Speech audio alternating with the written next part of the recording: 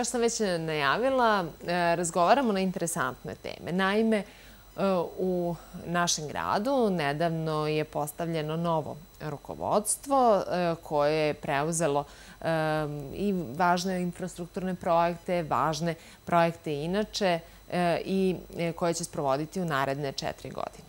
Nevena Plavšić jedna je od pomoćnika gradonačelnika grada Krušaca koja će se baviti omladinom i sportom. Dobro jutro i dobrodošli. Bolje vas naša, dobro jutro. E, evo, vi ste nov pomoćnik gradonačelnika. E, deo ste jednog, da kažem, relativno mladog tima. E, šta je ono što očekujete i šta mi možemo očekivati od vas? Pa, eto, dolazim iz prosvete i u nekom radu, ajde, sa srednjoškolcima i kao mama dva mala deteta, eto, imam iskustva rada sa njima, da osluškujemo njihove ideje, potrebe, pa da probamo eto to da realizujemo planove neke kako su oni zamislili, naravno uz pomoć nas, da ih usmeravamo na pravi put. E, vaš e, sektor je negde e, dosta toga radio proteklih godina, baš na osluškivanju tih potreba i ideja mladih. Tu su realizovani brojni neki projekti koji se tiču e, upravo naše omladine i znamo da su sprovođene i neke ankete, da je to sve urodilo plodom. Pa e, kako vam se čine svi ti projekti, odnosno šta je to što ćete negde nastavljati? Jako interesantno lepo. Čini mi se da su to i omladinci lepo prihvatili. Nastavit ćemo taj rad, naravno. Čak je skoro potpisan e, projekat e, ovaj, naš grad. Zahvaljamo se ministarstvu e, za dijasporu, ministru Đorđu Milićeviću. Ovaj, dobili smo 6 miliona za rad sa omladinom iz dijaspore i kroz taj projekat će gostovati u našem gradu šest udruženja iz pet država um, regiona i Evrope i uh, bit će uh, kroz pet dana upoznavanje našeg grada na različite načine. I bit će stvarno interesantno. Uh, prošle godine je krenuo taj projekat Ehm, koliko čujem, bio i uzbudljiv. Ove godine će to, ajde da kažemo, već se radilo na tome, pa ćemo biti još bolji. Iako smo i prošle godine dobili eh, pohvale od eh, strane ministra. E, dakle, zaista trudimo se da ovaj grad postane grad mladih, a tu negde ne možemo da zaboravimo ni svu onu, da kažemo, sportsku i rekreativnu infrastrukturu koja je negde ovih Eh, posljednjih godina eh, u usponu, gradi se na sve strane. Jeste, jeste. Infrastruktura stvarno za sport je zadnjih godina toliko se uradilo, stvarno puno. Od eh, preko dečih igrališta, sportskih teretana na otvorenom, zatim traka za trčanje. Stvarno, jedan onako imamo i skate park. Ako nešto ispustim, ovaj, da Ovaj, da nešto propustimo, ovaj, mnogo je toga. Jeste, stvarno puno toga se radilo. Nastavit će se tim radom, naravno. E, sad je aktuelno, pošto su vidovdanske svečanosti blizu, e, prvo je ovaj, e, teren za odbojku na pesku i nadamo se i ovaj, za vidovdanske svečanosti bit će i turnir ovaj, predvizen za tu manifestaciju. E, također projekat e, e izgradnje velike hale Lazar, koje je po evropskim standardima, nacionalna će biti, tako da nastavlja se tim tempom kao i do sada. Ta projektna dokumentacija, pretpostavljam da se sve to priprema. Jest, e, jest. Ovi tereni za odbojku na pesku su gotovo izvesni i znamo da godinama unazad to privlači negde pažnju.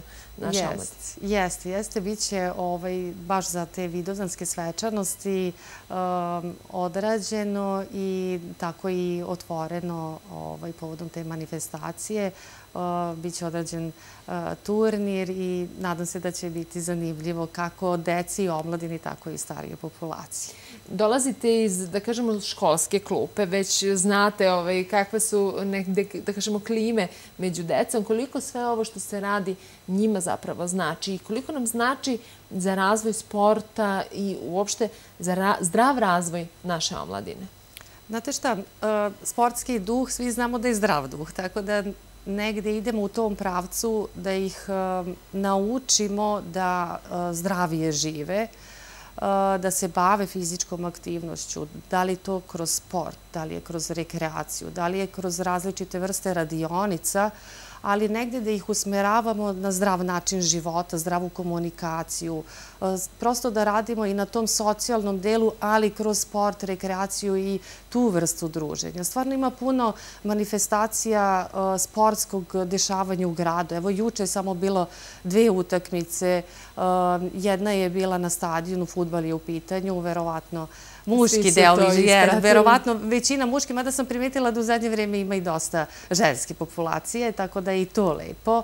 Ovaj, zatim je nakon toga bila i utakmica rukometu u hali. Stvarno ima puno tih dešavanja. U toku je projekat mentalno zdravlje mladih, Ovaj, imalo je jedno lepo predavanje u svečanoj sali muzičke škole. Taj projekat se nastavlja. U subotu je otvaranje pola deset eh, sa izviđačima i radit će neke zadatke kroz radionice, kroz obilazak grada. E, krenut će se od Doma sindikata do Bagdale i do Slobodišta. Um, onda je isto u subotu e, uh, Šarengradski kup e, plivača također koji će okupiti preko 300 plivača iz uh, regiona. Biće, tako da kažem, um, toliko puno sadržaja ehm, ovaj, mogu da biraju u kom će pravcu da idu, a naravno da sačuvamo taj zdrav sportski duh kod svih nas. Eto.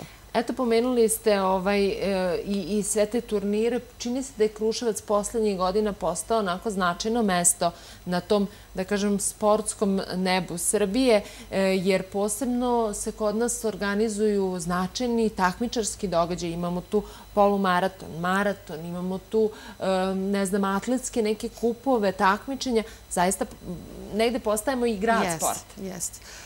Eto, nastavljamo. Sljedeće nedelje ovaj je također odbojkaški kup. Biće tu osam najboljih E, ovaj, timova Srbije.